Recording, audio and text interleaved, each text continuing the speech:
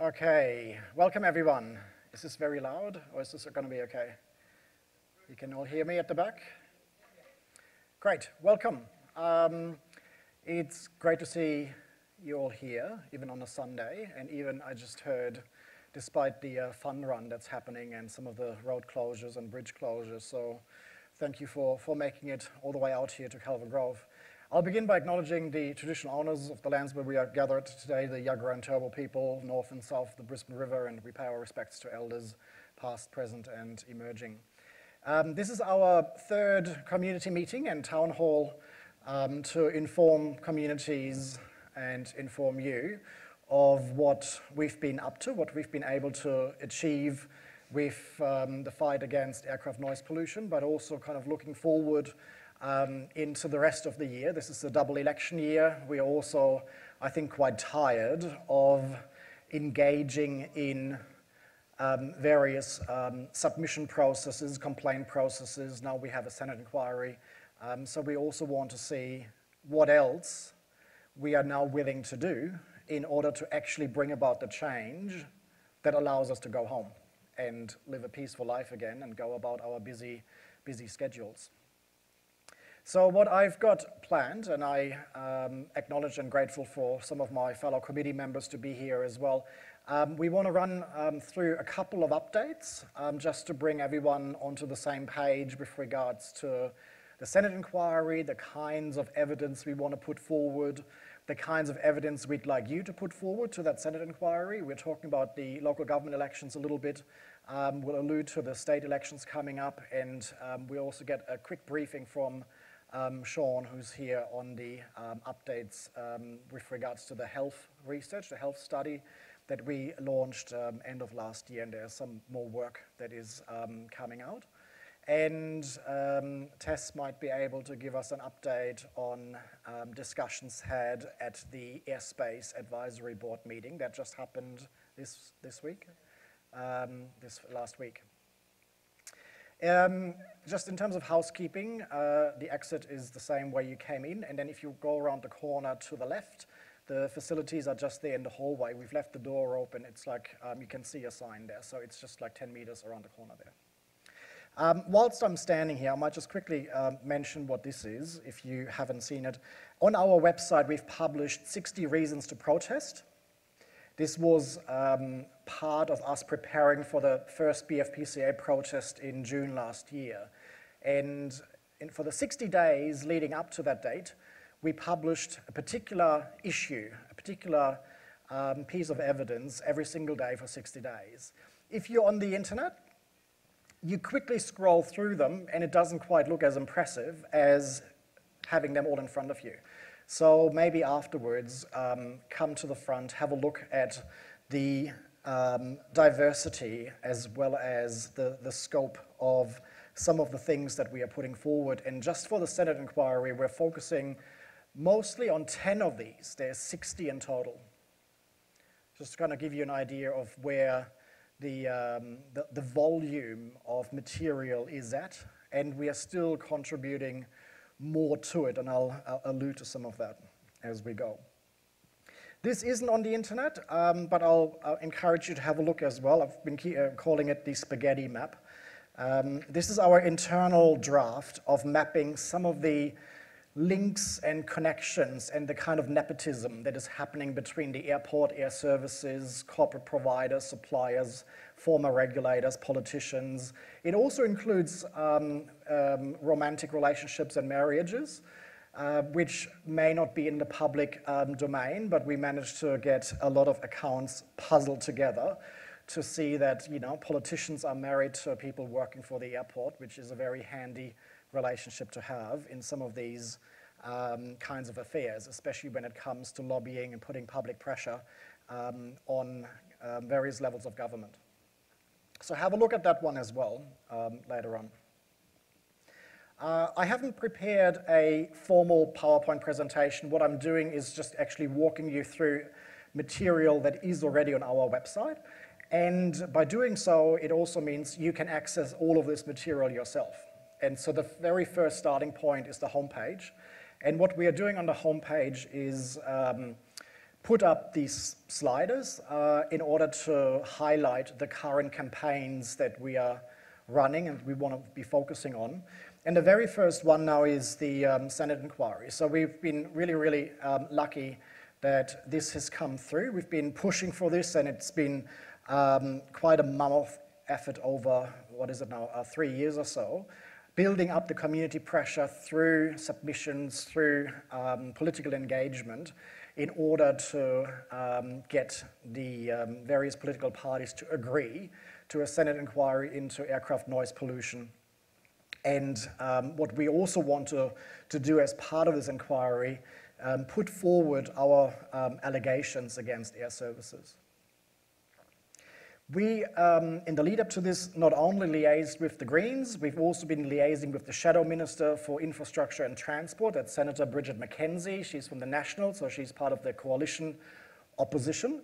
Um, we also have um, fellow committee members who've been liaising with other parts of the entire political spectrum, both um, in terms of the colors um, horizontally as well as the different levels of government vertically. So we've been meeting and talking to local councillors, we've been talking to state MPs, we've been also talking to the federal MPs. We've got um, Tess, who might want to mention a couple of words later about interactions with um, Peter Dutton, who's not only the leader of the opposition, but also happens to be the MP for Dickson.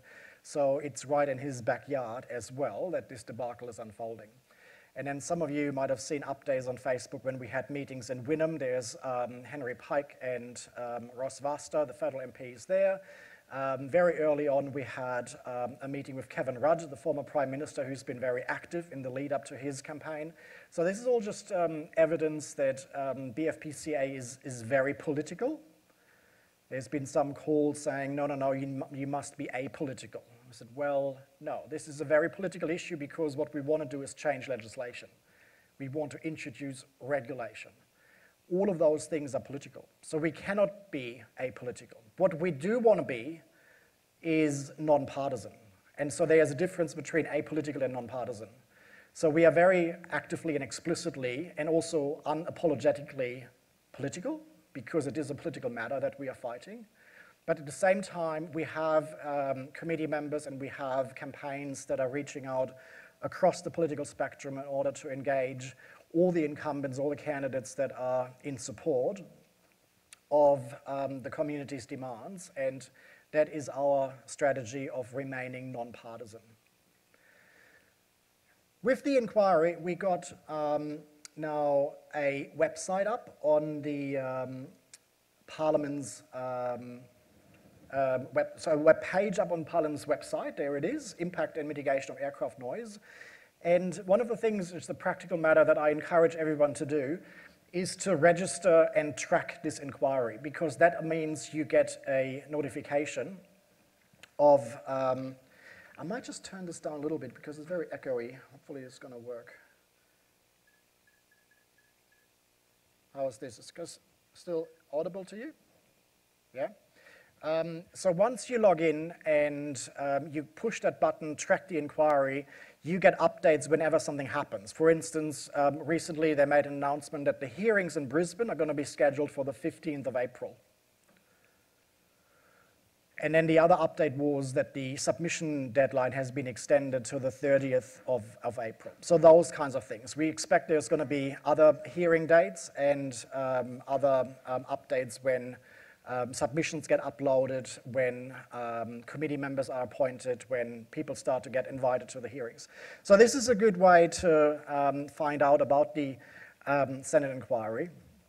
What we are doing right now is preparing our own submission, as well as preparing for the hearing, and we've also been asked to put forward recommendations for um, witnesses, for experts, for community members that will be invited to those hearings. This is not limited to us, though. So if you do feel comfortable um, not just attending a public hearing, but actually being invited to speak, um, the best way to do that is to put yourself forward, either through your own submission or by simply emailing the secretariat. There is a um, web link, uh, an email link down here. So it's um, this one down there at the bottom. And you can self-nominate as well. That is going to be really useful because the senators will want to hear not just from us. So please don't think, oh, BFPCA got this.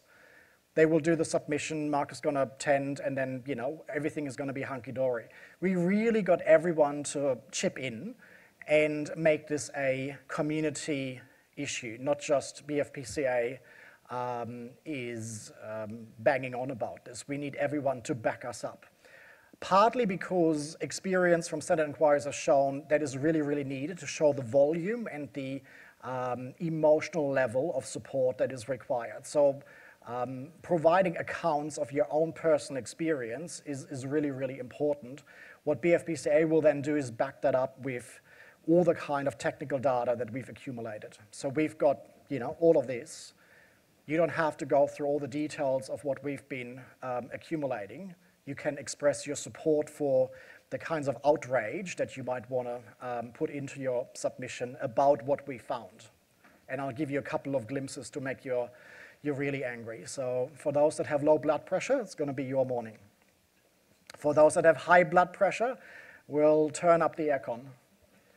The um, other reason why I think it's going to be really important for everyone to have a voice is because the committee that oversees this inquiry is made up of all the political parties. So whilst the Greens have been very supportive, our own political strategy is to liaise with all of them, which means we also got to um, anticipate backlash from um, the government as well as some of the opposition senators. For instance, um, the shadow minister has been great in Senate estimates. We've had several meetings, Tess attended them, some other committee members attended them. They've been very, very supportive. But one thing they've said up front is no curfew and no flight caps. The nationals are not standing for that. So whilst they are going after air services, and you've seen some of the videos we've shared on Facebook in the hearings, how you know Bridget McKenzie has been interrogating the CEO of Air Services, Jason Harfield, and some of his um, fellow executives, um, we have to keep in mind that two of our key demands is caps and curfews. And the shadow minister is not the person, and uh, the nationals are not the party that will support that, and that's what they've um, quite transparently expressed in their scorecard uh, leading up to the federal election, as well as in person to us when we met with them over several times. So the chair of this inquiry is going to be Matt Canavan, um, who is the um, Queensland senator for the Nationals. Um, so we got to keep in mind that when we do do, uh, when we do do those submissions, they're going to be read by a whole cross section of the political spectrum. Um, the more evidence we can put forward that they can't refute, the better our position is going to be, that we're not ending up in a situation where there's going to be um, excuses, exemptions. Um, in Senate inquiry land, there is um, reports, and then there can be dissenting reports, which is when they don't agree on matters. Once we have that situation, we might um, find ourselves kind, kind of split because they will point fingers at each other saying, this is, you know, the Greens are just politicizing this or um, weaponizing this. So the more of us can actually put forward your own personal accounts, um, how this affects you, um, the better it will be. If you happen to have expertise, and we've already tapped some people on the shoulder, um, that can add extra weight, then the better. And Sean will, for instance, give us a, um, um, an example of personal expertise in uh, Sean's case in environmental science and in research. But another example, for instance, is a um, um, fellow supporter who came forward who happens to be a surgeon at the Children's Hospital in Brisbane. And he sent a very powerful email because he said that his hand is shaking so much from not being able to sleep at night that he cannot um, operate on uh, open heart surgery on children and babies because of where he lives and how the uh, noise is affecting him. So when the airport and air services talk about the economic development and the growth and we just got to suck it up, there is some very powerful accounts of us not just being sitting there and collecting pensions and Centrelink payments. We are the economic powerhouse of the city. It's affecting 226 suburbs. That's not just people living there and playing um, pool. That's people working, studying, caring, um, being in um, facilities for various reasons, and um, that is all part of the argument we need to put forward.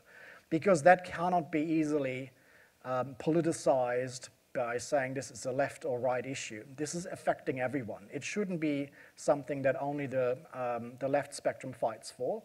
Um, the fight against corruption and um, unethical behavior should be across party lines, something that we want to um, nip in the bud.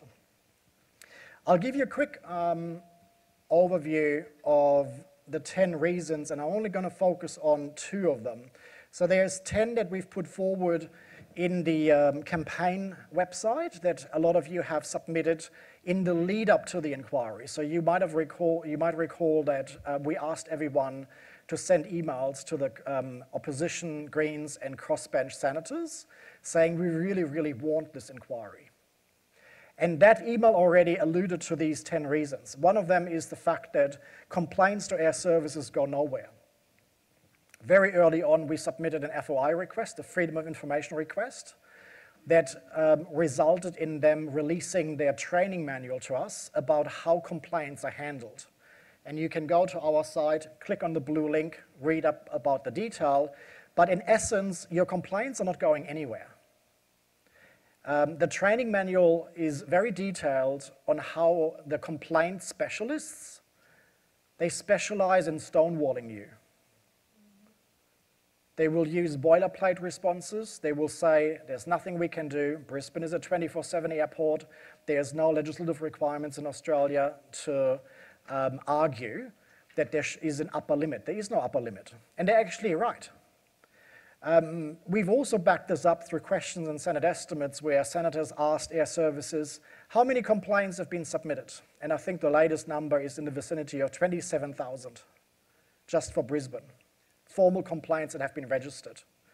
That's a cleansed figure because if you submit multiple complaints, you won't be counted. So even with all their cleansing tactics, it's in that vicinity. Now, the next question the senator asked, how many of those led to a noise improvement investigation, which is a provision in this training manual that the complaint specialist can take an idea from the community and then take it forward. Can you say, how about um, steeper departures, right turn, left turn, curfew, whatever it is? You might have seen this already online. Guess how many have been um, investigated? None. Not just in Brisbane. They said none in the entire country. Right? So it begs the question, if this provision is in their training manual, what is it for if it's never been used? So the, the stonewalling is one item. Um, Sean, do you want to, um, because the next item here is about the mental health impact and the, the wider health impact, are you happy to give us a quick update, maybe with um, the, the mic? And I'll switch to the, um, the health report page. Good morning. Good morning all. Marcus, thank you. I want to start off in a little strange little place here. Marcus has just given us some background on what's happening to people in Brisbane. I've been asked to give a presentation at BACAG, which is the, the talking shop at the airport that happens four times a year. Jeff has previously been a member there. We've got Tess there that, that works on another talking shop called AAB. And I've been struggling with how I make a presentation to the people that are responsible for causing the problems. They're not exactly friends for us. So I've been struggling with words, and, and Tess, you're great as a, as, a, as a documenter. Would people like to suggest one or two words that describe what's going on? All right? I've, the words I've come up with so far is, for instance, it's cruel. Yeah? If you go beyond that, it's deliberate cruelty. So would people please make suggestions right now? Ridiculous? Okay. Relentless? I hope you're getting these tests. Sorry, coward? Harrowing. Other ones? Disheartening. Yeah. Powerless, impotent, what? Irresponsible. Harmful. Say again? Harmful. Harmful, certainly. Criminal. Okay, we're getting closer. Not right. Unethical. Deceit. Deceitful. Immoral. Okay, let's go, go back. Last year, we completed a study on looking at the extent and severity of aircraft noise in Brisbane. Some of you may have read it, it's on our website, but we've got a quarter of a million fellow sufferers out there.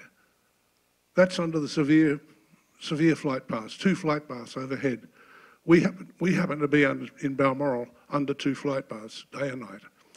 Other people, there's half a million people in addition that are under one flight path. So all of these people, that's three quarters of a million people, a big slab of Brisbane's population are getting hit with, with pretty severe aircraft noise seven days a week. What does it do? Well, it causes heart disease, it causes strokes, it can exacerbate diabetes, and on the, on the non-medical side, um, it certainly is causing a lot of mental distress. There's some people who are having su suicidal ideation as a result of it, lots of family stress, lots of disruption in schools happening all the time. And the numbers we're talking about are very significant. Normally, if you had a, a, a problem like this that affected a big slab of a major city, the government would have done something about it. If you had as many people in Brisbane affected by road, road crashes, collisions, they would certainly be doing something about it, but nothing is being done. So we, we've done that, we've done the work, it's been, it's been put about. Um, I'll talk about it when I speak to BACAG. Um, but we've gone on from there because one of the groups that we know are most affected by aircraft noise are school kids and of course the teachers. So there are about 100 schools that are under one or, one or two flight paths. And that adds up to about 100,000 students, which is about 40% of the school kids in Brisbane. And there's been plenty of research done in the US and in Europe that shows that aircraft noise, as compared to other noises like traffic noise and construction noise and so on, is the most disruptive. The teachers can't hear the students, the students can't hear the teachers, the kids have difficulty concentrating, and as a consequence, it slows down their cognitive development, slows down their reading development, and can have lifelong effects. So this is a generational problem. It's not just us, yeah? It's your nieces and nephews and grandkids that are also being affected. So when someone says this is unethical, it truly is unethical. And this is the line that I'm increasingly taking. Marcus has made the point that there are no regulations. But hopefully, ethics have not disappeared as well. So Marcus is suggesting that we confront the airport, Brisbane Airport, and the airlines and the government with the reality of this being an ethical issue. And the government needs to watch its ethics and make sure that it is looking after its citizens, which it is not doing right now. So please, if you've got other suggestions for words to describe what's going on, I'd be happy to hear them. Please let Tess know because she's, she's getting them all down. And um, this is where we're going. Thank you very much. Thank you, Sean. Um, the third item that we've put forward in our call for Senate inquiry is around the staff shortages, which are largely self-made by air services as part of the, the pandemic and redundancies, a voluntary retirement scheme that was introduced during the COVID-19 pandemic. And you might have seen some of the media coverage around this. Now, that is quite an interesting one because it seems to be the one item that is uniting even the industry with us in establishing common ground to try and um, go after air services. So one of the interesting pieces of intel that we've heard from the Shadow Minister is that they have been liaising with airlines and with the Australian Airports Association and airports, and they don't like air services either. And you can guess why. Because the staff shortages that they fabricated is leading to cancellations, it's leading to delays. In fact, at the time that we had the hearing, um, it was um, two air traffic controllers in Sydney that didn't rock up at, uh, to work, and it paralyzed the entire country. So the industry is concerned about air services being a complete dog's breakfast for other reasons, but we believe there is common grounds because we are now looking at airlines being um, going going after air services, airports going after air services. We have Civil Air as the union that represents the air traffic controllers. They haven't been happy for a long time. Um, also due to um, the ongoing matter of sexual harassment and bullying that has already been subject of a previous inquiry with, um, with the Senate. And we are now adding more weight into this um, debacle. So that will be interesting to see how that pans out. Um, we've put uh, forward the argument around technical incompetence. Um, we've um, seen that Trax has been uh, reappointed as consultants from the UK to help air services with phases three and four of the um, Brisbane Noise Action Plan, as they call it. But Trax have already been here before part of our community pressure leading up to the federal election meant that Barnaby Joyce, at the time in his role of Deputy Prime Minister and Minister for Transport Infrastructure, made over half a million dollars available to get these consultants to come into the country, look at the handiwork that our services have been up to for 13 years, and it only took them six weeks to identify 49 ways that this particular um, piece of work could have been improved. And so our very first question is why? Why does it take half a million dollars, consultants from overseas, to come in here for a short period of six weeks to quickly identify 49 ways that air services work could have been improved when they uh, are telling the senators it's their bread and butter? Doesn't seem to be their bread and butter. So that is um, a, a, point that we are putting forward. We've heard about the SODPROPS um, debacle, which is the mode used to operate entirely over water, where one runway is used for arrivals, the other one used for departures over water. And what happened is that in the lead up right before the launch of the new airspace architecture, that mode was entirely removed from the noise abatement procedures in Brisbane um, between the time, the daytime hours, so from, from 6 um, a.m. to 10 p.m. Without consultation, without really telling anyone, without going back to the minister and asking for reapproval, um, they conveniently self-assess this as a minor change. Well, it turns out, and we are now the, the lived experience of it, it turns out that it wasn't a minor change at all. It was very, very major. So we also want to go back to this particular decision where they self-assessed it as a minor change because we believe that was commercially motivated. There's misleading noise data, which um, would probably fill up an entire lecture of how the, both the forecasts as well as the monitoring right now is misleading. Um, I'll just give you a glimpse. There is a particular approach that is probably tested from the 70s or at least from the 80s. It's very old. Um, that's called ANEF, which is the Australian Noise Exposure Forecast. So you might have seen this in the form of um, contour maps, which is like lines drawn on Brisbane and you can still see them in the um, Brisbane City Council um, local government plan because there is a, a layer for these um, overlays of ANEF contours. But the misleading part to it is that a layperson will look at this map, they will want to know are they in or are they out, right? Am I inside the contour or am I outside the contours? And so when you're outside the contours, you think, I'm okay. You don't necessarily look at the details of the numbers, the disclaimers, the fact that they are saying, but you can be exposed um, three kilometers left and right of any flight path and so forth. So part of the problem is this ANEF approach that Australia has been using for decades now is flawed.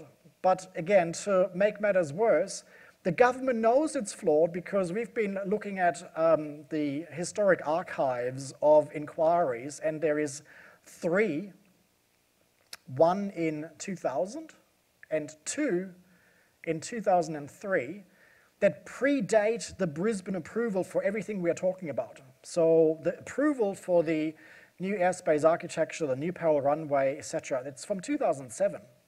So there's three reports that say how to do it better, how to not um, redo the mistakes from what happened in Sydney during the 90s. You might recall there were ongoing protests in Sydney in the 90s that led to a lot of the community protections that Sydney-siders are enjoying. And part of that legacy is also that these reports were produced that says this is how you need to do it, and this is how you don't do it. What did air services and the airport do? They did it exactly not the way the reports recommend. They just went ahead and did the same thing because it suited them.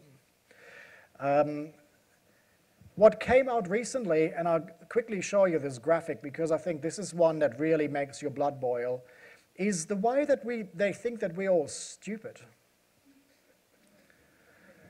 Has anyone watched that very entertaining episode of Senate Estimates? It was actually, in this case, um, Senator Janet Rice. Um, she's a senator from Victoria who's been cutting her teeth fighting for um, Melbourne communities with regards to aircraft noise exposure. And we've briefed her quite in a level of detail about some of the technicalities with something that's called the noise improvement trial. So one of the um, concessions, if you'd like, concessions and quotation marks. One of the concessions that we got out of Barnaby Joyce as a bit of a, you know, we'll throw you a bone um, in the lead up to the federal election 2022 were these noise improvement trials, and one of them was that they're going to be prohibiting intersection departures at Brisbane Airport. So if you think, you know, I'm a plane and this is my runway here, an intersection departure is where they go on the taxiway, and because they might just be a small, um, small aircraft or propeller or whatever, they can take off with a shorter length of the runway. So they go into this intersection here, and then I'm going to turn around and I'm going to take off. Okay?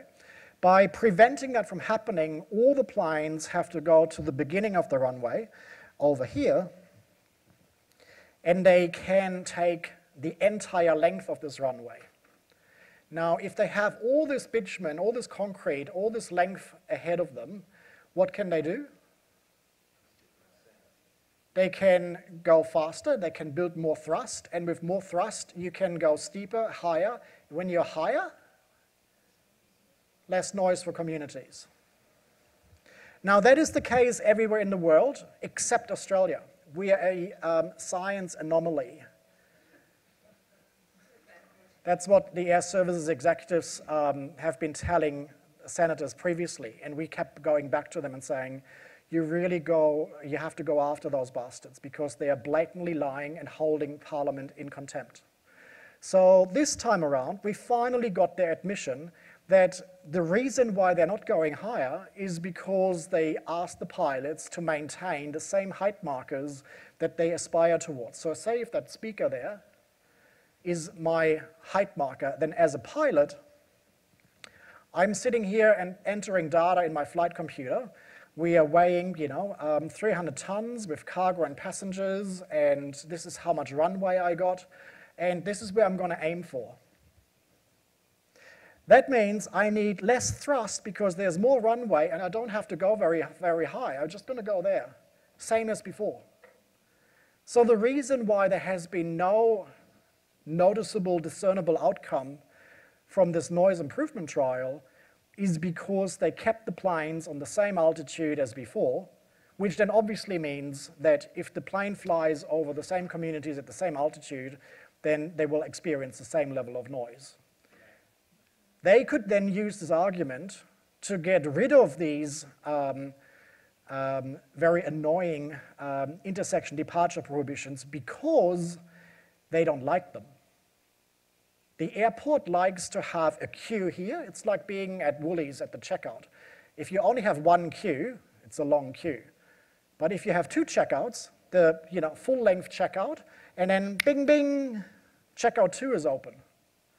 Then the planes can line up at this conveyor belt and go up there, and they can just schedule them much more efficiently. Now, the airlines and airports love efficiency because it means more throughput.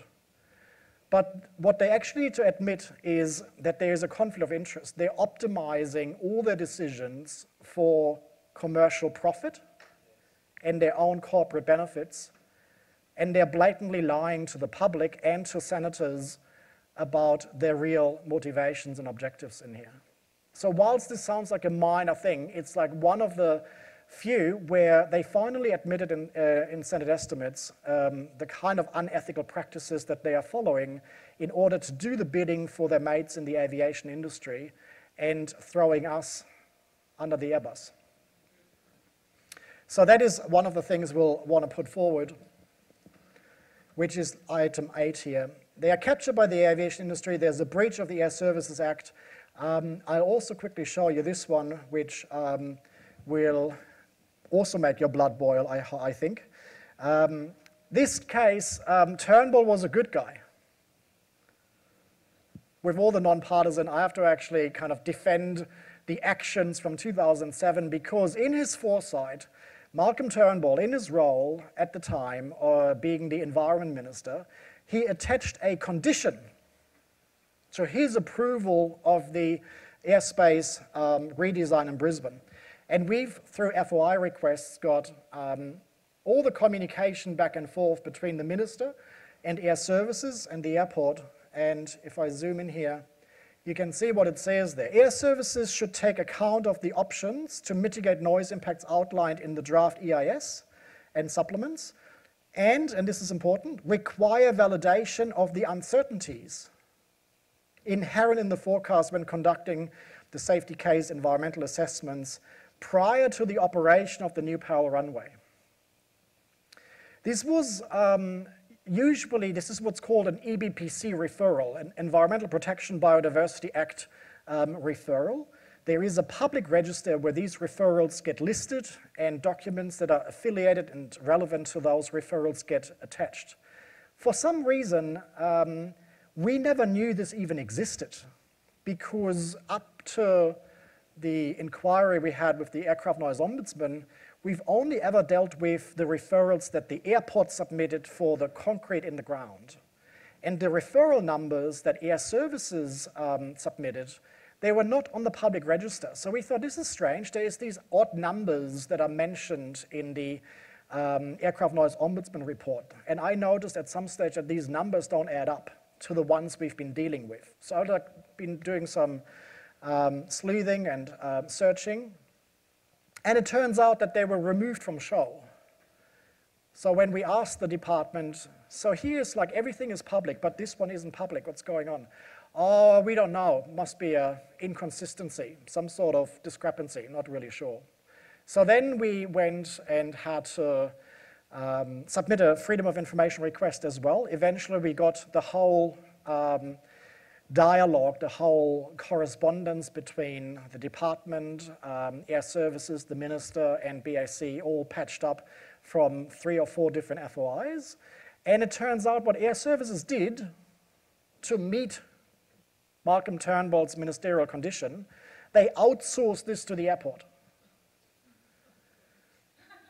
So Air Service said, look, we're really busy. Our bread and butter is to, you know, have a jolly good time here um, can you help us, BAC, because we need to make this go away. And BAC said, of course, no worries, we can help you. We're going to fabricate um, some bogus data and some report that is um, full of furfies about how there is no need to do any more forecasting modeling or going back to the drawing board. We're just going to rejig the old data from 2007 put um, our company logo on it, and here is our what's called the BAC Noise Comparison Report. And Air Services said, thank you very much, that's great, exactly what we need.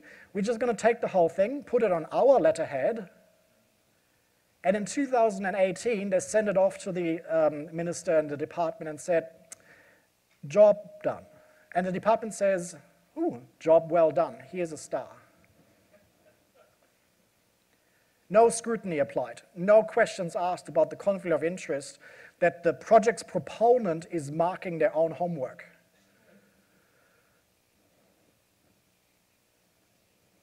Right? So of course that noise comparison report is very favorable, suggesting that there is no discrepancies, it's all hunky-dory. Now, 2018, the flight paths hadn't been finalized. They hadn't been finalized until 2020 when the last airspace change proposal was submitted to CASA. So when we look at the timeline, they've kind of said we are done, we've met all our requirements at the time when they were still fiddling around um, flight paths. In fact, the ones that are going all the way out on the instrument landing system and the SIDS and stars that are elongated over Upper Brookfield, Samford Valley, and so forth, they weren't really on the, on the picture. And this is part of the reason that they managed to get this through after the fact that the minister's conditions had been declared to have been met. What do you think of that? Any more adjectives to add to the list that Sean produced just now?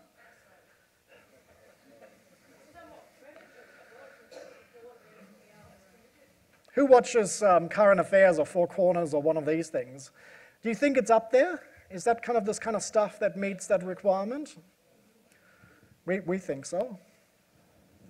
Okay, so this is um, some of the things we want to put forward in the Senate inquiry, but um, I also wanted to give you a couple of glimpses. So we've looked at the um, noise improvement trials, we looked at um, the uh, minister's approval. There are 60 of them. I know it's a lot to take in, but if you're really interested of what's really going on here, we're not just NIMBYs because we are, you know, uh, complaining about some nuisance about a um, plane or two flying over our homes. This is blatant, unethical um, conduct.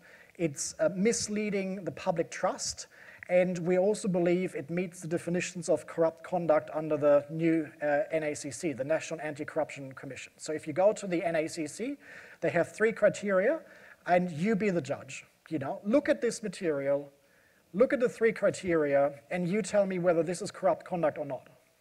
We believe it is, but a lot of people think it's the C word that must not be mentioned in Australia. Well, we think it needs to be mentioned because we need to call um, this what it is. Now, on a rosier note, I don't know. Um, do you want to um, get these ones maybe distributed? Maybe I'll ask um, Martin to do that. Can you do that? Oh, you've already got one? Oh, great. Oh, great, great, great, great. Excellent. so I quickly wanted to give you a bit of context to our scorecard approach. We've done the scorecard for the federal election. We've done it now for the local government election. And we um, are planning on doing this for the state election. This is pretty much just BFPCA doing a service um, for the community because what we do is we identify issues that are within the remit of um, the government that is being re-elected. So whether it's the federal level, the local level in this case, and now next time it's going to be in October, the state level. Um, so the six items that you see there on the side, they're not randomly picked. They're actually items that are within the remit of a local government. We then write to the uh, incumbent and to the um, candidates um, as we are able to identify them, and we ask them where they stand on those issues that we've identified. And then we hope that they write back to us. In the case of the local government elections, Labor and the Greens wrote back to us. The LNP originally did not write back to us, which we then um, um used as a way to interpret their current actions in the absence of their formal response. A week later, we did get a response, so we've updated this scorecard now to reflect the response that we've received. There's a couple of things to point out. One is we ask everyone to read those letters because we are interpreting it in a very um, generous way but you need to apply your own scrutiny to what they are saying. We are also not telling you who to vote for. This is really just the guidance. I don't, you know, and no one on the committee really cares um, where you're going to put your, your, your crosses Um, this is really just information and a way for us to elicit that information from the candidates and incumbents of where they stand. Now, there's two kind of misconceptions that we get a lot um, in response to this. One is, oh, you're just promoting the Greens. No, we're not. We're actually asking all the parties where they stand, and we respond by putting that into the scorecard and we publish their letters. If you think the Greens will never be able to achieve what they are setting out to achieve, then don't vote for them. If you believe that Labour is the best bet, or if you believe the LNP is the best bet, then vote for them. If you're a member of the blue or the green or the red team, attend their branch meetings, ask them about these things, bring it into the conversation when policies are being discussed. Uh, make submissions in your own right if you're not happy with any of their responses, but don't complain to us. We get lots of complaints and people unsubscribe from our mailing list saying, oh, you're putting Labour or LNP or whatever into a bad light. Well, no. If you look at the letters, this is what, how they've responded. They've ruled out certain things. They've said they would do certain things. We also get the reverse compliance. We are, you know, we, people are saying, oh, the LNP got two green ticks, but they are currently in power in town hall. Why aren't they doing these already? They are in government. They're, they're running Brisbane City Council. How come they haven't done number one and number, um, number four? So again, you got to read those letters to interpret what they are saying, and you got to make up your own mind. Um, when it comes to local government remits, yes, we hear all the time. and In fact, the letter we sent to the candidates started off by saying we completely acknowledge that aviation is a federal matter. But there are certain things that are within the remit of local, as well as state governments, and we have been asking them about those. In this case, for instance, um, not whether they're going to legislate a curfew and flight cap, but whether they are supportive, which means, for instance, that they could use their membership on BACAG and their relationship with the airport to exercise pressure on supporting the community's demands. We know that they can't legislate this because it's not in their legislative remit. Similarly, when it comes to drone delivery services and air taxis, and you might have seen some of the more recent media coverage that Airservices is making it easier for those operators to introduce services into the Australian airspace, local governments have a big role to play. And you might have seen those photos of Adrian Schrinner um, presenting an air taxi outside town hall right? So if it's completely outside the remit of a local government, why is our current Lord Mayor inviting the company that he has signed a memorandum of understanding with to come out in King George Square and set this thing up for a big PR press show with media coverage and yada, yada, yada. Right? So there are a number of things local governments can do.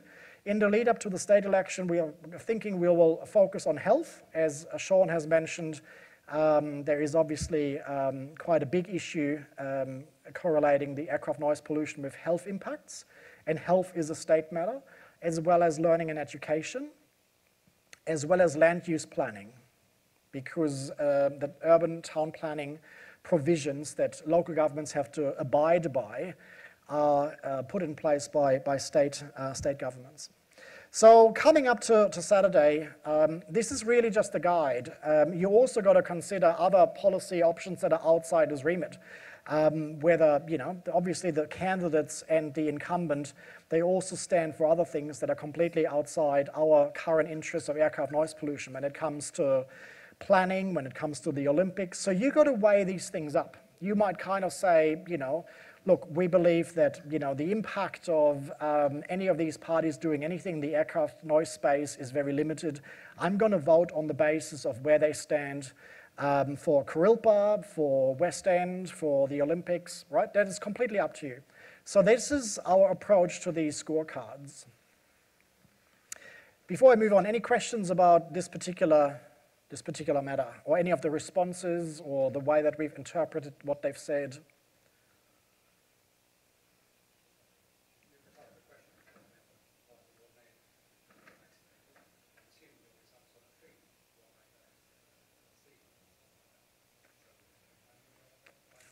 Um, we haven't we haven't seen the actual MOU that they've signed. We've um, seen it covered in the media.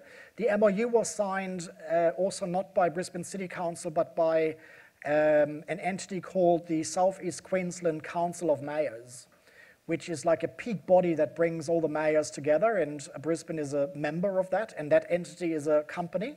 It's an incorporated entity, and so they have signed this um, MOU with um, a company called Wisk. Wisk is the, I think they actually attached to, um, to Google, uh, to Alphabet, Google. Um, whether there is um, commercial um, kickbacks, we can only assume that there's going to be some of those uh, involved in order to enable them to be fast-tracked. Because the thing that we've um, seen covered in the aviation industry magazines and press is that a lot of these providers, drone delivery services and air taxi providers, they love Australia. In fact, some of the test cases here are the best ones in the world, even better than the test cases they're running in the US and in Israel. Because here, there's no regulation. They can do whatever they want. So they're already flying in Logan and Ipswich. And if you look at some of the videos that we've put on the, on the website, there is a, a number of communities now um, forming and creating um, resistance to the fact that there was no engagement, there's no regulation, and so they have these drone flight paths at about 70 or 80 meters altitude where someone would order their Starbucks coffee um, or their Domino's pizza and it goes over their head. So I think there is obviously commercial considerations. The other thing to watch out for is if you live close to a Bunnings or Officeworks, because they are thinking of those car parks um, as a great location for what they call drone ports which is where they take these kind of two or three car parks at the very end of the Bunnings car park and they turn them into drone ports. So then the drones go up and down from this spot. The delivery drivers go there, usually Officeworks, Bunnings kind of stores, they, are, they have good connections. So then food delivery drivers go there, the drone takes it somewhere else, and so all of a sudden, if there's a, you know, a particular restaurant that you want to order from, then you, it, it goes via drone. So it's like, you know, the, the cyclist or moped goes to the drone port, the drone takes it further, and then there's another Bunnings where they drop it off, and then it goes the last mile. So you can see where this is, where this is going, and by the time that we wake up to this, they've already signed contracts and they had their little you know, ad in the Courier Mail on page 48 on a Sunday that we haven't noticed. And they said, oh, well, you didn't pay attention. So we've got to really watch the space because whilst they are saying, oh, this is great for the Olympics, once it's here, it's very hard to fight this to make this go away again. Any other questions around the um, items on the, on the scorecard? Yes, please.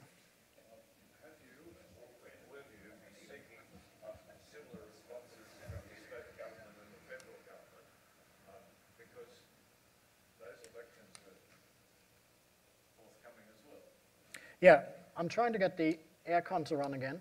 So because we are very, very imminent with the local government elections, we didn't want to add more issue, like more um, campaign material or matters into the, um, this one is, yeah, I know. There's only one button to push, which is like most of these systems. That complain, complain, complain, nothing comes. Okay, I don't know what, what's going on. Um, so yeah, because we are so close to the local government elections, we actually been holding off doing anything else, just because people start to get confused if we have too many things going on.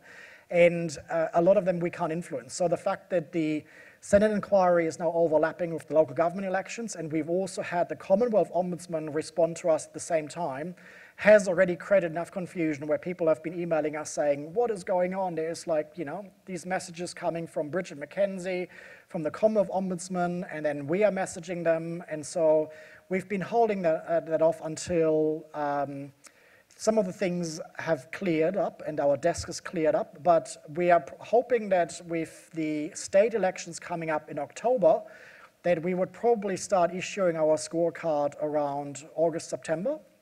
Um, if we are doing it much, much earlier, people also don't necessarily see the relevance yet. So a lot of the people that are paying attention now to the local government elections, like the media coverage, for instance, has only really started to focus on these issues in the last two, two weeks or so.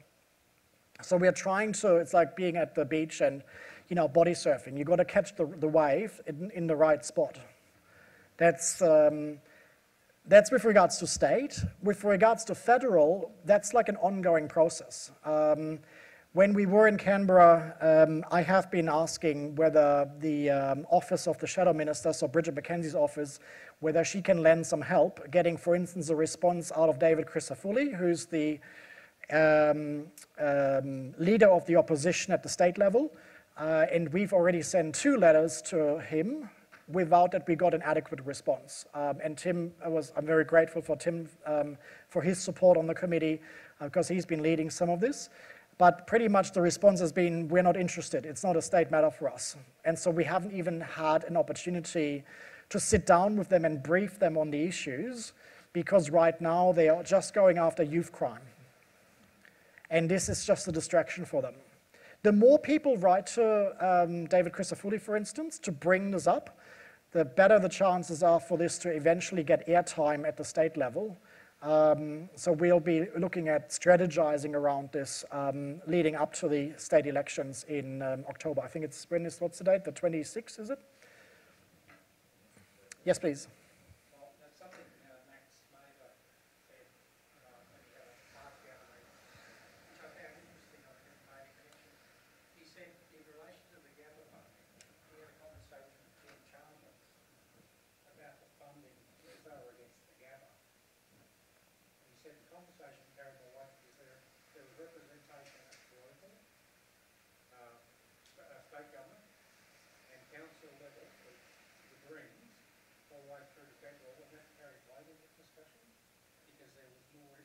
there's more significance in that, the fact that the Greens have the same policy on the Gabba. And he went as far as saying that, that the, the treasurer listened to him and basically said he would withdraw the money. It was instrumental in the decision. So I'm just saying, if the, the idea that they're not connected, if you vote at local, state and federal, well, they certainly are. Yeah, yeah. And we have seen on a number of occasions that they are, though, using that as an excuse, not wanting to do anything about it. And we've got to remind them that whilst there is a separation of governments, there isn't really a separation of parties. So um, Jonty Bush, a Labour MP at uh, um, state level, has been saying, oh, it's not really something I can do. Well, no. You can pick up the phone and uh, call your comrade, Catherine King, in Ballarat and say, what gives? Why are you just meeting with the industry um, senior hegemons at Brisbane Airport all the time and not a single time with us? She doesn't front up the communities. Oh, is she? There we go. Oh, she wasn't this last, yeah. So yeah, we do see those, you know, in, in hindsight, we then see the announceables with hard hat and um, that kind of thing. But um, on various occasions, um, the MPs have been asking her, meet up with the communities, whether it's with us or even doing a town hall meeting like this. Um, no, they refuse. So it's, yeah, it's, it's a very good reminder. And similarly, um, the same applies to the other parties. So whilst we, we refer to the LNP in Queensland, because in Queensland they are called the Liberal National Party, at the federal level we are referring to the coalition, which is though more or less the same thing, which is the coalition between the Liberal Party of Australia and the Nationals.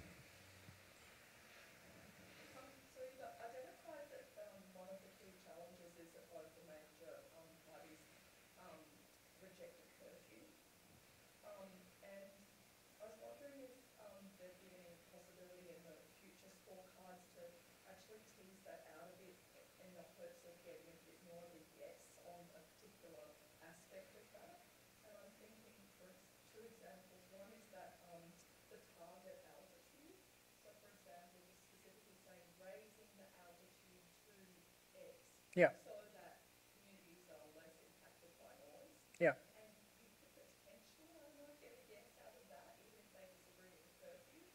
And the other one would be, um, about, um, those ridiculous flight paths that go across the whole of Brisbane and then fly to LA.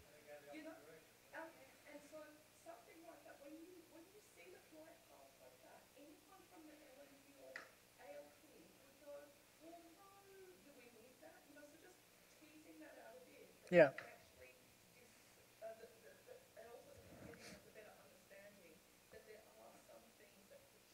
Yeah, yeah. On that topic, could you please explain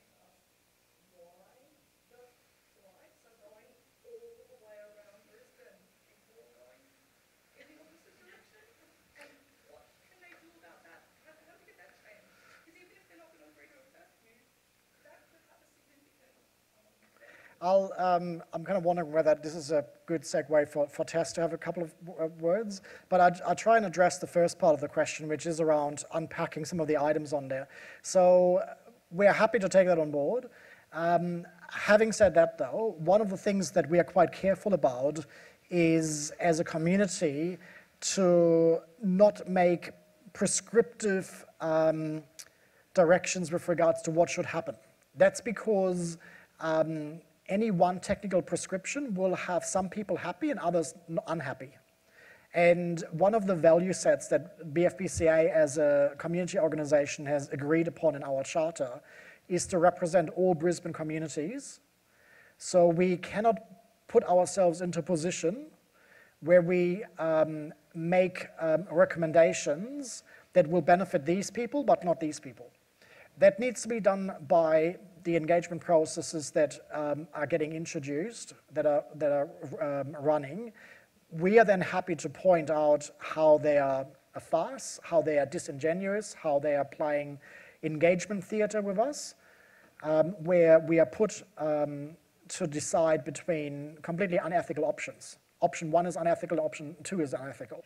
Um, we can do that. But we are, for instance, trying to refrain from um, taking sides with any Brisbane community because we are trying to stay united.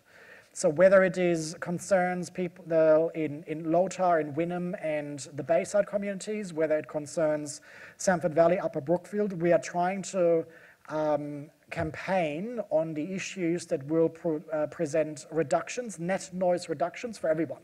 So the curfew, for instance, would um, reduce um, noise, flight caps would reduce noise, pointing out some of the ways that they've hollowed out the regulatory framework to suit their commercial um, interests is something that is of interest to everyone, but we won't be able to unpack it to the extent that we are advocating for very specific technical, technical changes. The other thing I add to this is, though, um, it's really important for everyone to understand why the LNP and especially the AL, um, Australian Labor Party are so consistently against some of these things that seem so straightforward. Isn't, isn't that the far more interesting question? Like, why are they so adamant that we can't have what, Brisbane, uh, what Sydney has got? So it, it is money, but I mean, it, it is really important. On us. It's not like some sort of Bjelke Petersen brown paper bag kind of situation. It is at a, at a much bigger scale, and the, the item on our, um, it might be too hard for me to kind of find it right now, but there, there is a particular um, um, protest reason that we've um, published that, that really un, uh, unpacks this, which I think is important for everyone to, to appreciate and, um, and look at, which is who owns the airport. So it, it goes, first of all, to the, to the, this is how we started looking into this because we had this kind of situation of um, Anthony Albanese and the videos that we've uncovered from 1996 when Anthony Albanese entered Parliament as the MP for the seat of Grayndler. And in his maiden speech, as well as subsequent speeches he gave in 96, he was all about um, flight caps and noise protections for his communities. And you can still watch these videos. So we've been asking what happened? How come this huge 180 degree change from what you've said in Parliament in 96 to what your infrastructure minister is saying now in 23? Um, and this led us to kind of understand, well, hang on a minute, what's going on here? This is um, Albo in the maiden speech and some of the, um, some of the quotes there. What's also interesting is that Labor often ridicules what's called private members' bills. So when the Teals or the Greens put bills forward because they don't have a big, uh, big numbers, they usually put these bills forward as what's called a private member's bill. So it's an individual MP putting forward um, such a bill. That was the very thing that Albo did when he entered Parliament. He had a private member's bill to put a flight cap on Sydney Airport of 80 flights an hour, which, while his private member's bill wasn't successful, John Howard actually legislated it. So Sydney has a flight cap of 80 flights an hour. We, we don't have anything. coming back to, to then asking, well, what's going on? Why is this? You really have to look at reason eight, which is who owns Brisbane Airport. So you can see um, the ownership share, which has slightly changed recently, um, but it's, it's largely similar to what you see there. Um, one of the things to point out is that Queensland government, through the Queensland Investment Corporation, has a share of now over 25%. They've purchased um, the Patrizia share, so they are sitting now at um, uh, nearly 29%, which makes them the largest shareholder.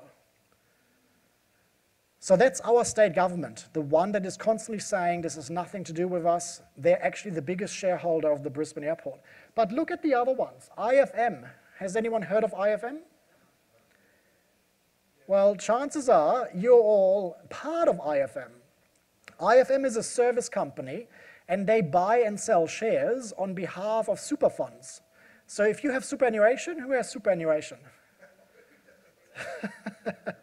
That's right. Uh, so you might want to check um, who's your super with, and all the funds are required under the legislation to do what's called public interest disclosures, which means they need to tell you how is your money invested. My funding, uh, my super funding, because I work as an academic here, is with UniSuper. So I went to UniSuper and said, okay, public disclosure, what, what are you investing my shares in? Turns out, Brisbane Airport. I own parts of Brisbane Airport.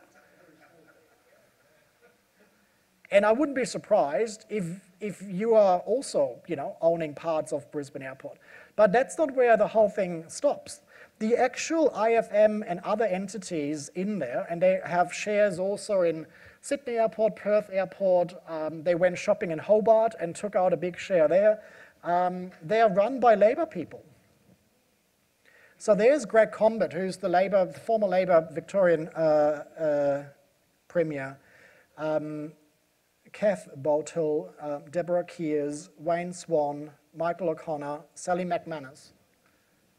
Those names ring a bell? Yeah, that's true. Greg, I think, has stepped down now, but um, this is up until recently. So this is kind of how we encourage everyone to try and make sense of things, and it changes, you know, individually depending on which super fund you're invested in. But if your super fund uses IFM, then chances are they have been um, anonymizing those investments because in my case, um, some of the shares are listed just as IFM. So in the public disclosure uh, statements, it will say that a big chunk of money went to IFM and we've asked them to invest it on our behalf. And then the disclosure statement with my fund only says IFM. So then you have to drill down a step deeper and go, okay, where did that go? And then you unpack the next chunk. And then all of a sudden it says, ooh, Sydney Airport, Melbourne Airport, ooh, Brisbane Airport. And so when you then realize that between Albanese in 1996 entering parliament and now a lot of the um, labor functionaries um, sitting in the boardrooms of industry super funds who have own uh, ownership and, and very substantial ownerships of airports across the country, you kind of put one and one together and realize it's not in their interest to put caps and curfews in Brisbane. They're already trying to white end the community protections in Sydney to try and get rid of them. So that's the reason why in the scorecards they're constantly saying no, because it would prevent them from getting the mula mula.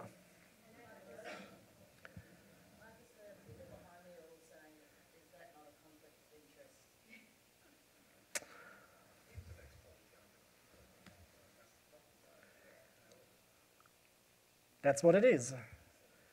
And it's not limited to aviation. We, we don't have provisions, we don't have provisions, I suppose, for, um, for this to be prevented. So the fact that we have um, Terri Butler, who uh, was up until recently the um, MP for Griffith, um, telling us all um, how much she would do for our fight and our concerns and our plea to um, fight against aircraft noise pollution.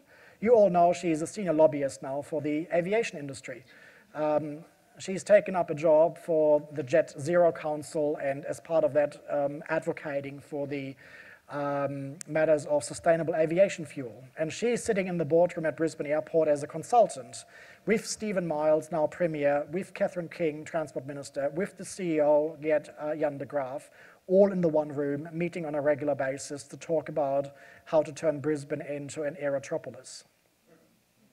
Nothing wrong. That happens all the time. That's kind of how um, these things um, happen. And even just my three days in Canberra the other day, um, that house is a buzz, not with MPs, but with lobbyists that have lobby passes, and they wander the halls. They can go in and out. They don't have to have an invitation. With a lobby pass, you go to Canberra, you go through security, you don't have to wait for, like I did, for a um, staffer to pick me up from the security entrance. With the lobby pass, you go into Parliament, not into the chambers, but the Parliament office buildings. You knock on people's doors. Can I see, you know, such and such? And they're in there everywhere. So I think this is also, you know, um, an issue that I think should uh, make people think about how um, our democracy is, is largely run by corporations in order to maximize profit. And for a long time, we've been um, thinking that's a good thing. It's, you know, you know we got to cut the red tape and we've got to make sure these companies are all doing, um, you know, uh, uh, working on a profitable business. But at some stage, we are then falling by the wayside, and we are actually the ones that are um, suffering as a, as a result, as a consequence. All right, um, Tess, do you want to come forward and give us a, um, just in, in response to the other part of the question about um, technical changes? This might be good to, to hear from Tess, everyone. So Tess is on AAB, which is the um, Brisbane Airport Airspace um, Architecture Advisory, Witchcraft and Pottery, um, Super Senior Consultative Forum. Hi everyone, um, my name's Tess Bignell. I'm on the committee of BFPCA and also their treasurer. I got involved in this stuff back in 2020 when I was feeding my horses in the paddock out at Cedar Creek and a 737 went over. Had no idea. Then another one, then another one, then another one. Anyway, formed my own group out there, had Peter Dutton on board. Um, then we got involved with BFPCA, and then involved with AAB. I'm also um, got an interest in what's going on at Archerfield Airport. Can't be on BA, B, uh, BACAG because they um, can't be on both AAB and BACAG, right? Um, AAB is just another tool to tick a box for the government. It's been huge. It's been a year of total BS. Um, we had a terms of reference. The only only two subjects that were banned was um, caps and curfew. Couldn't discuss that, right? But when things like health come up, which is a symptom of the noise, banned. Push and push and push. Oh, well, you need to take to the minister and get it on the terms of reference. Banned. Went to Peter Dutton for support. Go and meet Catherine King. Catherine King writes back and says, she's a member of AAB. Tell her to go there. Banned, gagged. What happens with AAB is that we, ri- we raise contentious issues just like the A320 um, retrofit, I'll give you an example there, what happened. So, um, cut a long story short, comes out that airport says, yes, they're going to retrofit. Qantas rep says, no, we're not going to retrofit. So what happens? We then get a we then get an email from the chair saying they're not retrofitting. So basically, shut up and go away. Right? So then what happens is it gets wiped off the list of um, issues and settled, and there's no form of rebuttal for us community reps. Okay? Same thing happened with the intersection departure. Same thing happened with um, environment. You know, the environmental impact statements assessments for Brisbane are a total joke. The flight paths are designed basically, basically approved by CASA, and I can prove this for the 2018 EA that was done for my area because we weren't included in the original assessment. So those flight paths were approved by CASA three months prior to the EA being approved by Air Services. Do you know what the reason was? Because the work was all done, but the person that needed to sign the environmental assessment wasn't available until three months later after CASA had done their job. Now, to give you another um, example, SODPROPS, that horrible word. So, what came out in Wednesday's meeting was if you observe the runway and you think perfect weather conditions, lack of traffic, perfect, everything's fine, we should be doing SODPROPS. But we're not. Why aren't we? It's not down to time. It's down to, comes back to traffic that's out over Moreton Bay that don't originate from the Brisbane airport or are arriving from the Brisbane airport. So there's flight path conflicts from the Gold Coast and Sunshine Coast airport. They take precedence over what happens in Brisbane, right? But when you were engaged in the PIR, were you ever told that? Another secret. One thing you learn about ASA it's not what they tell you, half of it's BS anyway, it's what they don't tell you. Okay? It's like that 2018 EA. No one ever mentioned it during the PIR. It just slipped out one day. We, Marcus got it through Freedom of Information, went through the process, and it's absolutely back engineered to be approved so they don't go back to the minister. Everything is engineered, all the lies are engineered, right? So, um, so I don't want to miss your little thing up. Um, I was just tracking down some some notes. So basically, wh- who's on AAB? So we've got a chair who's the ex um, original noise ombudsman. We've got representatives from Brisbane Airport, um, airlines, Virgin, Qantas, Jetstar, um, BAC, Air Services, and the five community reps, right? The five community reps are meant to be chosen strategically to cover areas of Brisbane, okay? Um, so basically, it's in place for the noise action plan for Brisbane. So last year, who attended community meetings put on by Air Services? Went through all the phases, didn't we? Phase one, two, and three, all right? Why are Trax here? Trax are coming out to do phase four. They're going to look at all the old airs, the whole of Brisbane, Gold Coast, Sunshine Coast, fix it all up so we can all play in the sandbox together nicely. Bum bum. So, Trax are now here, it's been revealed, that they're redoing phase two, they're redoing phase three, and they are looking at phase four. Because basically, Air Services don't know how to do their job, right? So basically, we have lost 12 months full of BS putting up with these idiots, right? Because they can't do their job. I firmly believe it's a delayed tactic, trying to run us out, trying to run us out of energy. But I don't know about you, but it just makes me more bloody angrier, you know. Um, we have spoken about economics and we've spoken about noise monitors. Who's had a noise monitor near their property? Anybody? Do not ask for one. You will get it, but then you will become a target. You will become worse of a target. Who knows that the, the noise monitors pick up four types of noise? Anybody? Right? Usually, we, you know, these noises are average. Pick it up a kil- um, kilometre, listen over your head, follow it for a kilometre, average it. That's your noise exposure. So, out where I am, I'm 35 plus kilometres from the airport. You'd think, God, it wouldn't be noisy out there, would it? So, a sound exposure level for an A380 going over my property, have a guess how many decibels? Nearly. Anywhere between 92 and 97 decibels. That's not average, that's sound exposure level.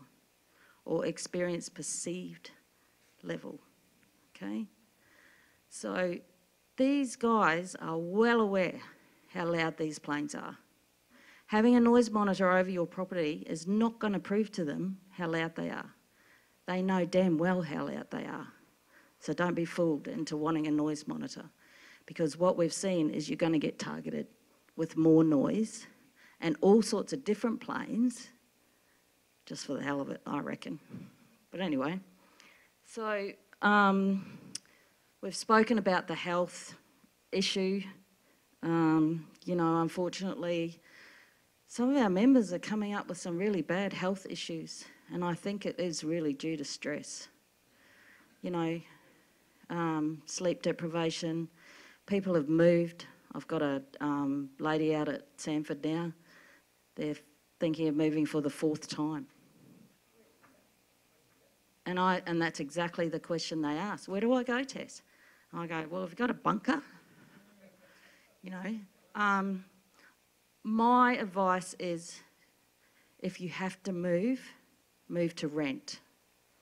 Move to go somewhere that is not permanent and you don't we're not wasting money on stamp duty. Right? Because nowhere is sacred in Brisbane nowhere is going to be safe. You're going to have to expect some type of overflight, and that's why caps and curfews are very important, right? There's a lot of examples around around the world that have tiered caps on certain times. They have tiered noise they're allowed to make at certain times. It's not just cut and dry, you know. There are Brisbane's a joke. Australia's a joke. And that's why we're getting people from all around Australia wanting to reply to this inquiry. Sorry, I'm out of my, my remit. right. Um, so basically, the noise action plan is for Brisbane that we discuss at AAB is going to take an extra year because last year was basically a waste. You're not going to see any results, concrete results, probably until what they are, maybe, probably in what they're going to introduce and probably mid 2025. Okay? And then, you know, it's going to take 18 months to two years to implement these things by the time they go through their process. Yes, Tim? Uh, just one thing with, with respect to the noise action plan, so in phase four, they're going to redesign the whole airspace allegedly, which is what they should have done right Yeah. at the beginning of Yeah. the whole process. But after phase four, that's it, it's in concrete. So there won't necessarily be any community feedback, and phase four is gonna be the time when the industry gets to say what they want. And after that, there won't be any more engagement, that's done, thanks.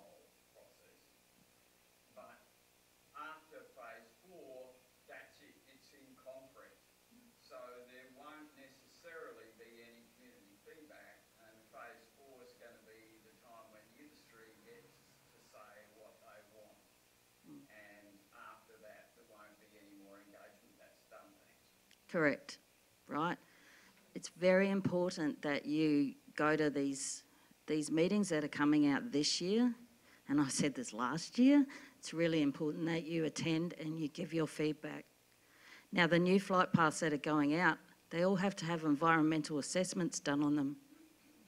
And I keep saying, yeah, draw a line on a page, do the environmental assessment, use your flight path design principles, and I'm telling you now, they're all going to fail and they're all going to be referred to the EPBC Act, right? And there's going to be delays. Oh, Air Services sits there and goes, You can't say that. They won't fail. I said, Well, you're putting them underground or out over the ocean where no one lives, right? Don't be fooled by these uh, new aircraft. They're going to be quieter, right? That's just BS, okay? The internationals are getting bigger and wider. So, whatever quieter the engine is, you're going to lose that by the wide body. Okay? Because not only the engines are the ones that make the noise, it's the fuselage where the noise comes from. Okay? And the frequency. and the frequency. Yeah. Um, so yeah, behind. The problem with this whole thing is that they have too many places to hide. They've got air services if they stuff up, oh, it's BAC's fault. BAC if they stuff up, it's air services' fault. Okay? That is one of the large issues in Australia. Okay? Um, Who voted for the segregated mode that came out in phase one? Thought it was a good idea. Anyone remember what the segregated mode is? Means that all the aircraft fly in on one runway, being the legacy, and they fly out on the other, being the being the NPR, and they mainly use it during bad weather. They used it twice this year already. New Year's Day and Australia Day. Just happened to be two public holidays. What do you reckon about that? Bad weather. In a segregated mode, did you know they don't use flight paths, don't use designated flight paths? Did you know that? What do they do? They use compass headings. So that's why everyone took off from the NPR. You get a plane, you get a plane, and you get a plane, and you get a plane. They just shared the noise over all of Brisbane. Okay? And that's why there were so many complaints. That's why BFPCA got a whole heap of new members. And that's why people thought, oh, is that what these people are complaining about? Okay? So I voted for it because I didn't realise that it used compass modes. Because what ASA told us, oh no, they're all fly in on the NPR now and out on the legacy. It's their turn to have a go, you know. So we'll be able to pick which one we want. Okay? So I think um, you'll probably want to speak more. But is there any questions about AAB? Yep.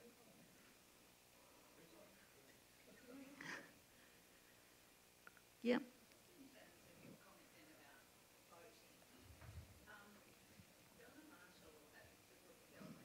said to us that that whole process would not be done on the basis of sort of one person per vote, that they would kind of somehow do this kind of overall assessment of what they Bullshit. out of consultation. So at the meetings, you know, there was no, no one was taking notes, there was no record of anything. And, and she actually said to me, and I wrote it down because I just thought, you know, can this be serious? She said, we'll be able to make decisions based on the vibe. That's, that's actually what she said to me. Um, so in terms of that voting process, like, is there something formal that has come out of that, or is that just No. Um, Air Services designed their flight paths on what they call their flight path principles. They went around Australia, they went to every capital city major and had meetings, except for here. What did we have? We had a pop up caravan. Who went? None of us. Who got engaged? Industry got engaged, the airport got engaged, right? So they're making decisions on our behalf, but not getting feedback from us, right? This is happening all around Australia. They're taking wrecking balls to every community in Australia, okay? Got people from Perth, Hobart, Newcastle, same thing. Western Sydney, you know? We are not treated with respect. We need to stand up and fight for our rights, basically. And it's just a pity we don't have the processes in place to do that. Tony?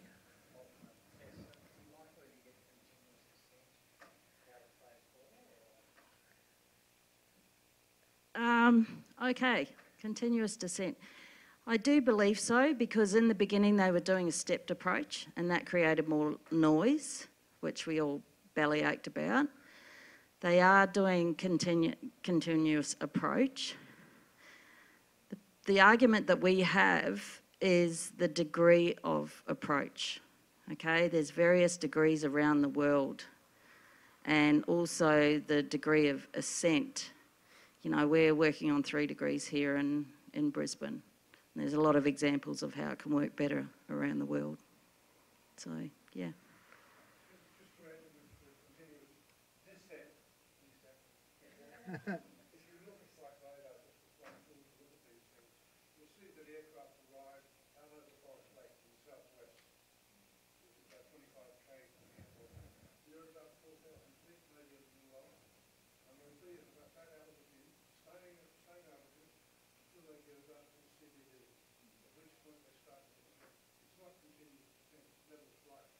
Mm.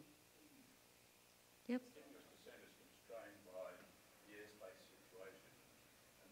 The design.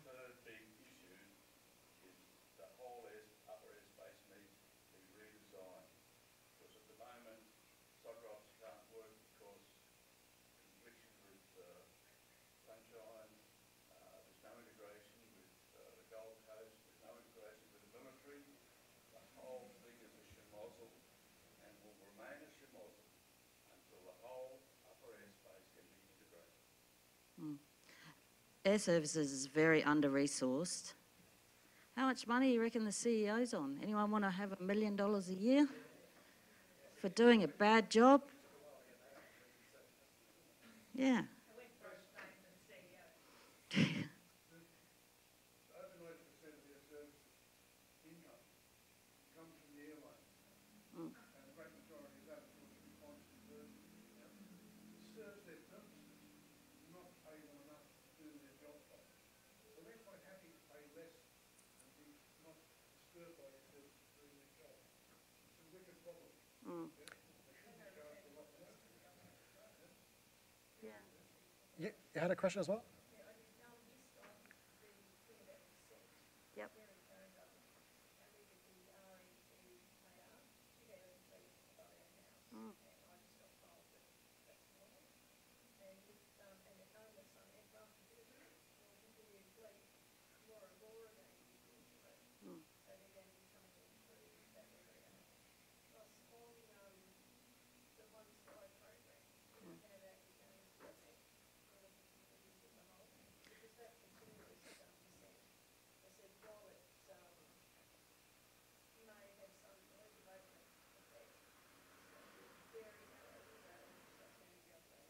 See, this has been the problem.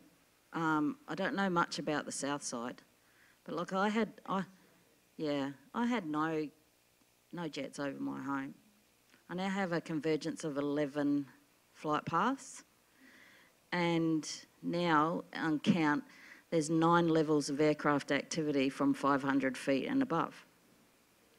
Lead fuel is a big issue for this country, and everyone is just going, oh, not in my backyard. You know, oh, I don't care, can't affect me. It's a silent killer. Mm.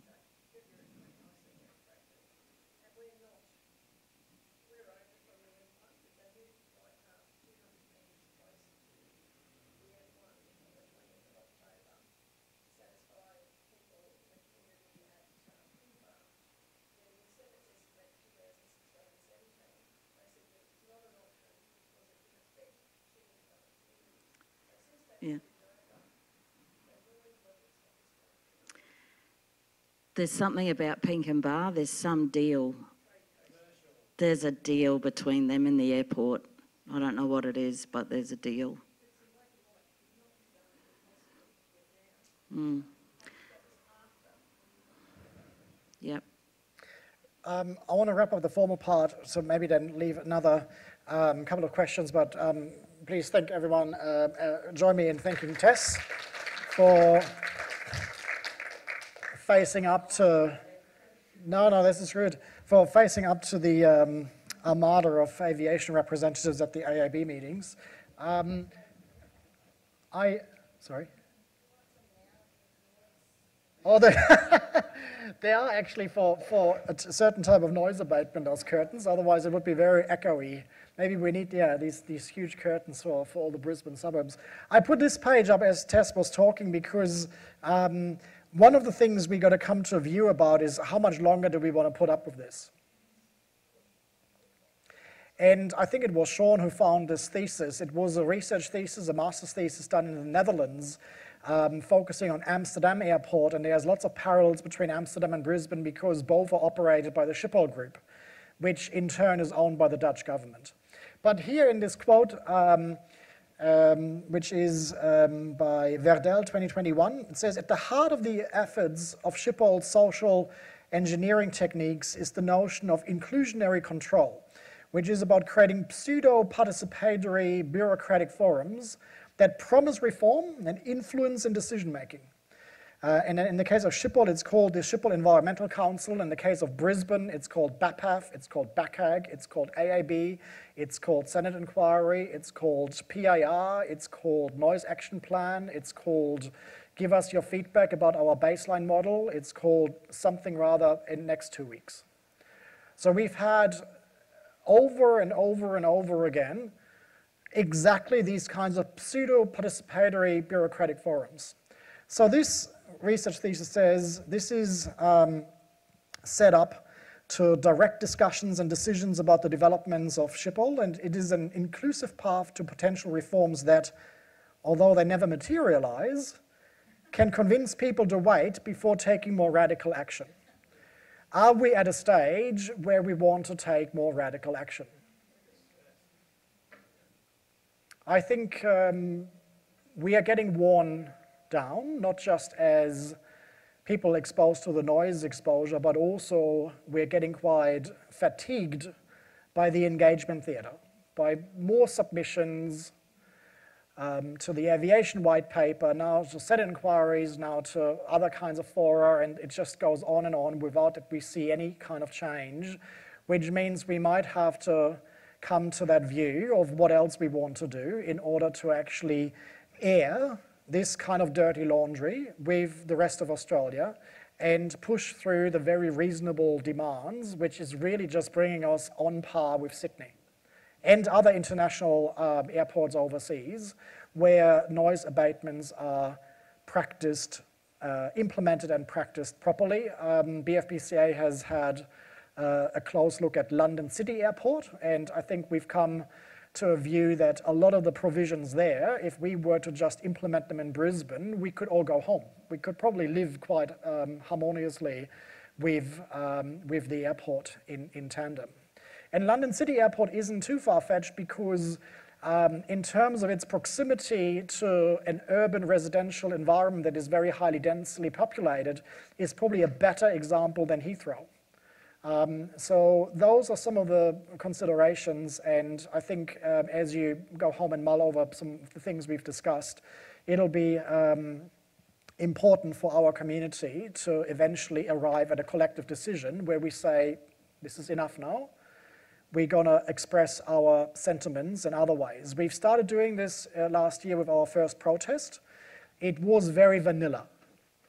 And it was very vanilla on purpose because we have an audience that's largely um, um, not very literate, I'd say, when it comes to community activism and protest. And a lot of people um, have never really attended a protest. But I think it is a part of a democracy to um, exercise our right to protest.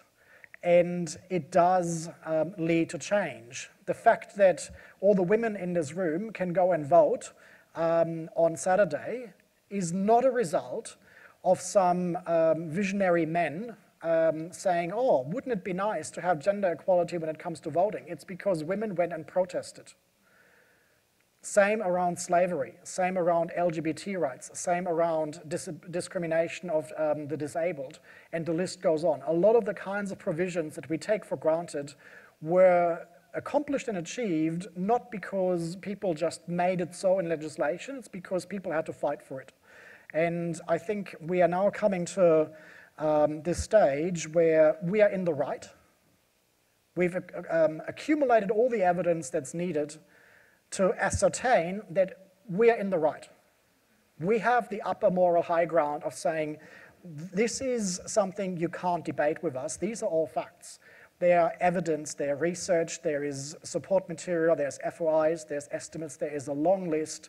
We're in the right. Second of all, we've exhausted all appeals pathways where you've put us into a corner where this is now the only way out. Unless you believe that, um, you know, Air Services now backtracking to go back to phase two, if you think that's a good idea, then we could probably be sitting here for another half decade without that anything changes, and we still go to these meetings and provide feedback and talk to Donna Marshall um, until she goes into retirement, and we'd still be here. So that's just something to, to come to a view about because I think um, we're all tired in more ways than one. And this is something we got to face up to.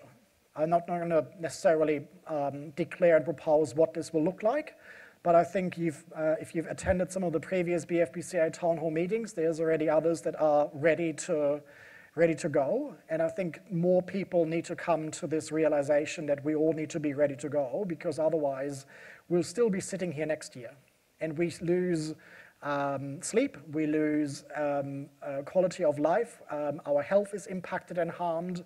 There's an impact on property values of over 10% in our research. The list goes on. Are we continuing to put up with it? Um, I'm going to hand over to Troy to just um, close off with the other side of our little flyer, which has a bunch of QR codes. Um, I also quickly mention one code on there because of the confusion. I suppose, I don't know if it is confusion, but um, as we are dealing with the Senate inquiry and the elections, the Commonwealth Ombudsman also now used this time to um, email everyone. And so I just want to clarify what that's all about. Um, BFPCA has been running this particular campaign that we call the Regulatory Failure Campaign, and it had three actions. The first action that lots of you have already done is to send a complaint to the Department of Infrastructure and Transport, and that complaint was not a noise complaint. That complaint was about a lack of providing adequate regulatory oversight over air services. And we used a, a, similar campaigns website, you might have seen this, to make it really, really easy for everyone to do this. Then you probably got a boilerplate response saying, um, we think that air services is adequately um, um, looked after by us, because we've put in place a board of directors uh, made up of um, very important commercial people, and they, we allow them to make decisions. They deal with it. Do you remember that response to, to some of your complaints? So we then use that as a way to escalate matters to the Commonwealth Ombudsman. That's a different person and a different office to the Aircraft Noise Ombudsman. The Aircraft Noise Ombudsman sits with Air Services. The Commonwealth Ombudsman is actually independent. It's its own office. It has more of authority and ability to do investigations. They've now started their investigation. So that's just the update on this. If you haven't yet, you can still go and scan the code on here that says complaint to the Commonwealth Ombudsman, which goes to this page. You can read um, what the submission will entail and why we are complaining to them. Um, and that will add more weight to um, the um, complaints process just by virtue of the number of um, submissions that they are receiving. They will probably tell you that they've started to investigate now. and They won't start individual investigations because this is really the same case, and that's fine by us. It's similar um, to what happened in the past. It's like a multi-complaint investigation. So that's just an update on that's been happening now, and I'm meeting with the Commonwealth Ombudsman's office this week on um, Tuesday or Wednesday um, to brief them further in a, in a video conference. Troy, do you want, uh, you got your mic? Yeah. Stan stood up so soon. But um, I'm not going to talk to you about each of the QR codes on the back here um, outside of um, the Senate submission, but I'll get to that in a moment. But I did want to talk to you about what we're doing for local government election. Um, so in terms of that scorecard um, that we have, um, we've launched, we've taken, we had a pretty uh, a robust discussion about the best way to go forward. As Marcus kind of alluded to, um, the dance card is really full with lots of things happening um, and we are bombarding our community, so yourselves, um, as well as others who are at really different levels of uh, understanding of the issues. Some people are newly on board and, and um, don't have a clue about any of the backstory or any of the stuff that we've been talking about today, and they're just like finding out about the issue for the first time. We've also got people like Marcus and myself, and like many of you here today, who um, have been here from the beginning, and we've got people in the middle as well. Um, and so we've got this uh, communication and engagement challenge of uh, providing messages for all of those people that pe all those people can take action um, despite where they're at, at on that journey. So we're trying to be conservative with the amount of things that we're asking the community to do because we don't want to burn you all out and suck all the air out of the room. Um, so the, with the local government election, uh, local government election, in other elections um, and other times, we've gone really hard with things like letterbox dropping and lots and lots of advertising and those kind of things. We've decided this time around to keep the powder a little bit dry because we've got some probably more consequential things happening very, very soon, which is the Senate inquiry, and we've also got the state government election just around the corner in October, which we've already alluded to. So are we going to be asking people to letterbox drop? No. Um, we're not going to be coordinating it centrally like we have in the past um, uh, for this election, uh, which is only a week away anyway. Um, but if you want to do it, um, feel free. All of the stuff is on the website. You can print some out yourself and drop them to your neighbours. There's nothing stopping you from doing that. In fact, we encourage you to do that if you like, uh, but we won't be coordinating that centrally this time. Probably will be coordinating centrally for the state election, um, and there's more to come. Um, uh, as Marcus said, we won't try to confuse the issue um, by starting that comms too early. But what we are going to start doing is really hammering the comms around uh, Senate inquiry after next week once the local government election goes. So we've got a bit of work as BFPCA to do.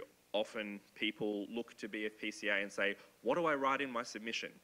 Um, as Marcus kind of talked about briefly a moment ago as well, what we will be doing this um, time around is providing guidance, but that guidance around submissions won't be necessarily, um, you need to write this. It will be about, these are some of the technical issues that you can bring up. These are some of the legislative issues that you can bring up. Here's some of the recommendations that we think as BFPCA might be a good idea.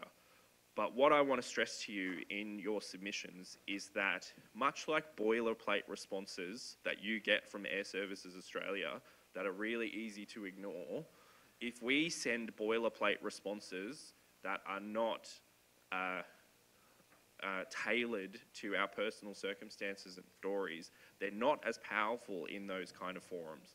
So the most important thing you can do with your submission to the Senate inquiry is make it about your personal circumstance, the personal impacts to you and your family, to your mental health, to your financial position, if it's impacting your property price or whatever it is, about the specific things that are happening to you as a result of this problem, and then linking those to ways that, uh, well, linking those to the causes of the problem, which are the regulatory shitfuckery that we've just spent two hours hearing about, um, and also the um, just lack of oversight. Um, and then the other thing you link them to is here's some solutions that we think we could do that can help. And that can be ranging from small things like, hey, let's get better, um, let's ban the airports from being able to do consultation on behalf, or not consultation, you know, uh, marking their own homework like they have in the past that Marcus alluded to, um, all the way up to really big ticket things like caps and curfews. Um, so you can use your own judgment based on what you think is best. But my biggest message to you is when you do your submission, feel free to wait for us. we in a couple of weeks' time, we'll be putting some advice out about some of this stuff. But in the meantime, think about how you can be most impactful with your own personal story from this that will be the most, you know, that will be the top end of what your submission is. So that's my homework for you today, um, is not go and scan all this stuff. Um, it's have a think about how you can most succinctly but most impactfully tell your story about aircraft noise and how it's ruining your life. Because um, that's going to be the most uh, moving thing for the people that read those submissions. Um, I'll leave it there and hand back to Marcus. Thank you, everyone, though, for coming out and for staying for two hours. Thank you, Troy.